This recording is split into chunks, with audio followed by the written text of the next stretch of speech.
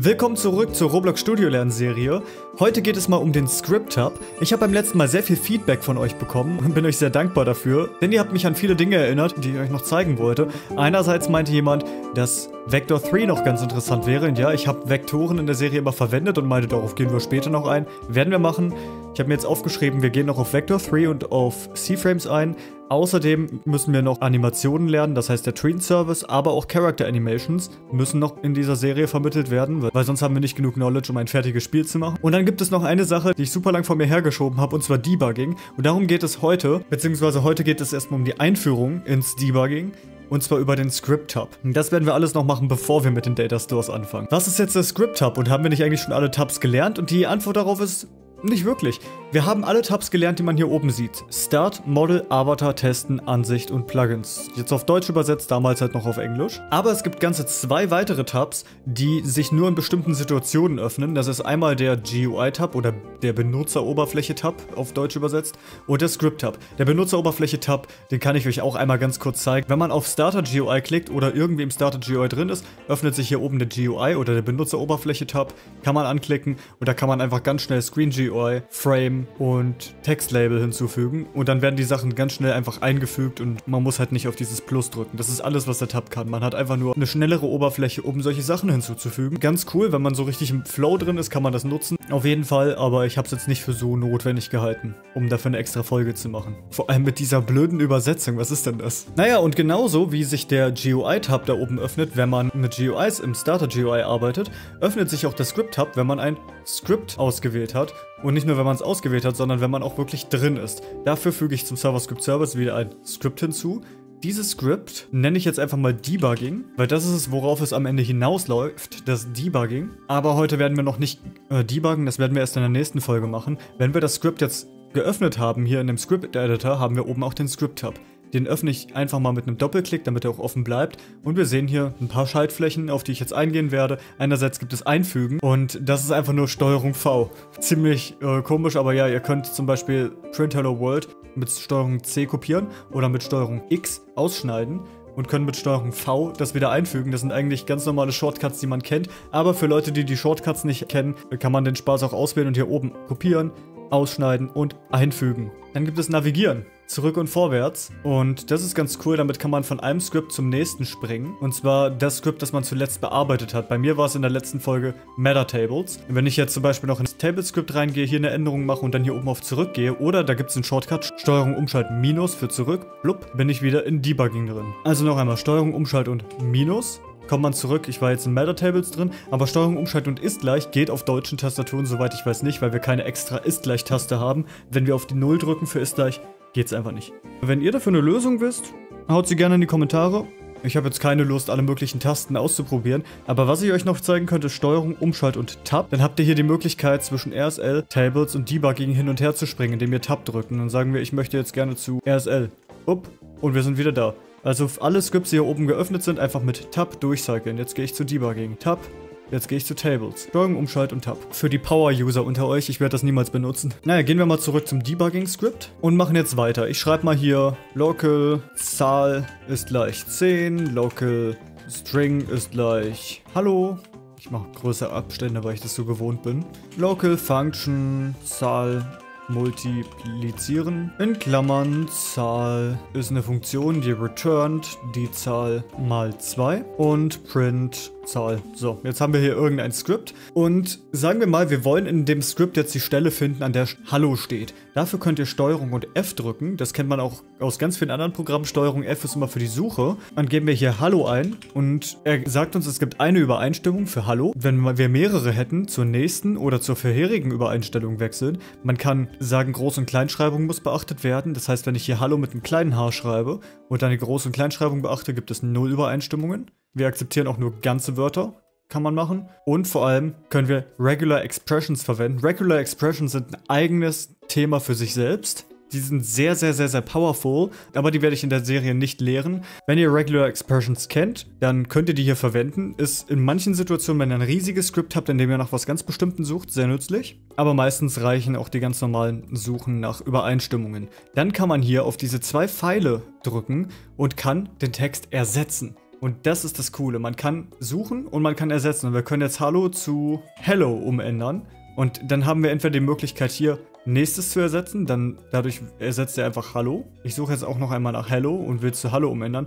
Oder ich kann alle ersetzen, dann werden alle Übereinstimmungen ersetzt, was dann auch Hello wieder zu Hallo macht. Das ist sehr, sehr nützlich, um halt sehr viele Sachen im Code auf einmal zu ersetzen. Diese ganzen Möglichkeiten habt ihr hier oben auch im Script-Tab. Ihr habt Suchen und ihr habt Ersetzen. Und wenn ihr hier raufklicken, seht ihr Suchen, nächstes Suchen, vorheriges Suchen und dann gibt es noch was, alle Suchen. Dadurch wird das alle Suchen und Ersetzen Ding hier unten geöffnet. Ich habe das bei mir hier unten schon offen. Das macht genau das gleiche. Wenn ich hier Hallo reinschreibe und dann Enter drücke, seht ihr, wir haben ein Skript, in dem Hallo drin steht. Aber wir haben bestimmt mehrere Skripts, in denen Zahl drin steht. Und dann sehen wir, wir haben 13 Ergebnisse in vier verschiedenen Scripts. Und da steht überall Zahl, Zahl, Zahl. Aber es steht da auch teilweise Zahl bei Geheimzahl klein. Also kann ich sagen Groß-Kleinschreibung beachten. Und dann haben wir es tatsächlich nur im Debugging-Script drin. Und da können wir auch wieder auf die Pfeile unten und ersetzen und alle ersetzen und der ganze Spaß. Super nützliches Tool, benutze ich häufiger, wenn ich mich mal dazu entscheide, eine Variable umzubenennen. Man kann sich damit aber auch was kaputt machen, also seid vorsichtig. Dann kommen wir zu Auswählen. Und ich weiß nicht, warum Auswählen hier im Skriptfenster drin ist, weil wenn wir hier auf Auswählen und auf alle Auswählen gehen, dann wählt er hier rechts in unserem Explorer alles aus. Hä? Ich weiß nicht warum. Aber der Shortcut, der hier steht, stimmt. Wir können in unser Skript reingehen und hier Steuerung A drücken dann wird alles ausgewählt. Außerdem kann man übergeordnete Elemente auswählen, untergeordnete Elemente auswählen, alles erweitern und alles minimieren. Und das sind alles Sachen, die für den Explorer nützlich sind, aber nicht für Scripts. Warum ist das im Script-Tab drin? Aber egal, es ist im Script-Tab drin. Ja, ihr könnt zum Beispiel hier alles minimieren blub, dann wurde im Workspace jetzt alles zugemacht. Ihr könnt auch alles maximieren oder erweitern, blub, dann ist alles aufgeklappt. Aber der Shortcut zum alles äh, erweitern und schließen ist dann natürlich Shift und dann einfach hier auf den Pfeil klicken und dann ist alles wieder klein. Und dann kommen wir zum Formatieren. Formatieren ist ein sehr mächtiges Werkzeug, um euren Skript halt zu formatieren. Ihr seht, ich habe meinen Code immer sehr komisch formatiert. Mit diesen ganzen großen Abständen. Das finden sehr viele hässlich, wie groß ich meine Abstände habe. Ich brauche das aber persönlich für mich. Und wenn ihr dann mal mit einem Skript von jemand anderem arbeitet, welches so große Abstände habt, könnt ihr das formatieren. Das einzige Problem ist, wenn ich das jetzt auswähle und Alt-Steuerung F alles formatiere, dann rückt er bei mir nur das hier ein. Das liegt an meinen Formatierungseinstellungen. Wenn ich auf Datei, dann auf Studio-Einstellungen und dann auf Script-Editor gehe, gibt es hier alle möglichen Einstellungen. Ihr könnt zum Beispiel die Schriftart in euren Scripts ändern. Ihr könnt die Tab-Breite ändern. Bei mir sind es sechs Leerzeichen standardmäßig für einen Tab. Also Tab, wenn ihr über Caps Lock Tab drückt für dieses Einrücken. Ihr könnt Einzug mit Leerzeichen aktivieren, dass ihr Leerzeichen drückt und dann wird halt so ein Einzug gemacht. Ihr könnt euch mit diesem Haken all eure Tabs anzeigen lassen und all eure Leerzeichen anzeigen lassen. Finde ich nicht sehr schön, aber kann man machen. Ihr könnt über die letzte Zeile hinaus scrollen oder ihr könnt es deaktivieren. Ihr könnt sogar Lineale hinzufügen. Äh, das wäre für das, was ich mache zum Beispiel ganz praktisch. Zum Beispiel sagen wir mal, ich weiß nicht, wie viele Leerzeichen es sind, wenn ich bis dahin gehe, aber sagen wir einfach mal 100 Leerzeichen, bupp. Das ist zu weit. Dann sagen wir einfach mal 70, bupp. Dann haben wir hier einfach so ein Lineal und daran könnte ich mich dann orientieren für meine Tab-Stop- Abstände. Ihr könnt euren Code nach Typ formatieren. Also wenn ihr den Code schreibt, wird er automatisch formatiert. Wenn ihr zum Beispiel äh, Enter drückt, wird es automatisch eingerückt. Könnt ihr auch ausschalten. Genauso beim Copy-Pasten könnt ihr Code automatisch formatieren oder das ausschalten. Und eure automatische Einzugsregel auf relativ absolut oder ausschalten. Da probiert euch einfach aus, was euch am liebsten gefällt. Und es gibt halt super viele Einstellungen, was das äh, Thema Formatieren angeht. Und je nachdem, was ihr hier einstellt, wird unterschiedlich formatiert. Hier unten könnt ihr übrigens auch noch die Farben von den ganzen Keywords ändern, aber ich lasse immer die Standardfarben drin, weil warum auch nicht. Und jetzt, wo ich dieses Lineal habe, kann ich zum Beispiel mit Alt die zwei Leerzeichen-Tasten machen und ich sehe, ah, so ein Mist, das ist nicht richtig. Studio-Einstellungen, 70 wäre falsch, sagen wir 73? Ne, sagen wir 72? Das ist es, yeah. Aber ich muss allgemein sagen, das Auswahl-Formatieren-Ding hier ist echt äh, eine Enttäuschung. In anderen Code-Editoren kann man richtig viele Sachen einstellen, in Roblox Studio eher sehr wenig. Wenn ihr euren Code richtig formatiert haben wollt, nehmt den am besten raus, packt ihn in Visual Studio Code rein, formatiert ihn da und dann packt ihn in Roblox Studio wieder zurück. Dann kommt Spielen. Da kann man ganz normal Playtesten. Man kann die auch unten wieder auf hier spielen oder auf Run gehen, um einfach nur den Code auszuführen, ohne einen Charakter zu spawnen. Kennt man eigentlich schon. Dann haben wir, wenn wir spielen, Skripte anhalten, Skripte fortsetzen und stoppen. Das ist halt nützlich, um Sachen zu testen. Und dann kommen wir zum Debugger. Aufs Debugging werden wir in der nächsten Folge eingehen, dementsprechend gehe ich noch nicht so stark hierauf ein, aber an sich ist das hier für Breakpoints, um, wenn man an einem Breakpoint ist, zum nächsten Breakpoint zu gehen oder in das nächste Scope hinein oder aus dem Scope wieder herauszugehen. Dann haben wir Debug-Fehler, standardmäßig steht hier nie. Dann gibt es bei allen Ausnahmen und bei nicht behandelten Ausnahmen. Und das ist einfach dafür da, dass automatisch wenn ihr euer Spiel testet, äh, das Spiel angehalten wird, wenn es halt irgendwelche Fehler gibt und ihr euch die Fehler dann anschauen könnt. Werden wir auch in der nächsten Folge darauf eingehen. Und dann kommen wir zu den Aktionen. Und diese ganzen Aktionen, das sind auch Aktionen, die beim Debugging auftauchen. Also ihr seht, das hier ist alles sehr Debugging-lastig. Führen wir mal in unserem Code Zahl multiplizieren, aber mit dem String aus.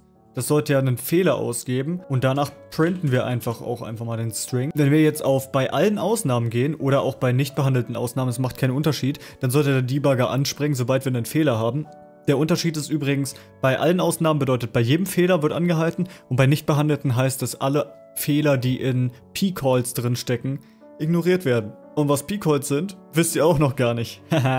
So, wir starten einfach mal und wir sehen hier Ausnahmefehler. Es ist direkt hier hingesprungen, als ich auf Start gedrückt habe. Debugging, Zeile 5. Dann steht hier auch noch der Fehler. Auf Fehler werden wir auch noch eingehen. Das sind alles Shortcuts fürs Debuggen später. Ich kann den Spaß ja auch schließen. Habe jetzt die Möglichkeit zu sagen, dass ich die Skripte fortsetzen möchte. Ich habe aber auch die Möglichkeit, jetzt hier was anzupassen und zu sagen, Du bist im Testmodus. Allfällige Änderungen gehen verloren. Das ist ein Übersetzungsfehler. Sobald du auf Stoppen drückst, dann sage ich okay. Sag dann if type Zahl ist not gleich number, then return Zahl end.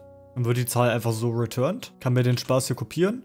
Und dann habe ich hier die Aktion Script neu laden. Ein Script neu laden, nachdem es geändert wurde, während es läuft. Klicke ich rauf, Script wird neu geladen und ich gehe auf Script, Skripte fortsetzen. Und das Script läuft jetzt einfach weiter. Pff, jetzt habe ich hier den nächsten Fehler. Chat Script, was sollte das? Aber was ich sagen wollte ist, das Script hier läuft jetzt einfach weiter, ohne den Fehler erneut auszugeben. Das Problem ähm, dabei, wenn man jetzt playtestet, vor allem mit einem ähm, Client an Bord, dann erroren manche Scripts einfach nur, weil man die ganze Zeit pausiert, weil viele Scripts nicht darauf ausgelegt sind, pausiert und später nochmal neu gestartet zu werden. Ich gehe wieder auf Skripte fortsetzen und wir sind ganz normal im Playtest drin und der Fehler kam nicht mehr.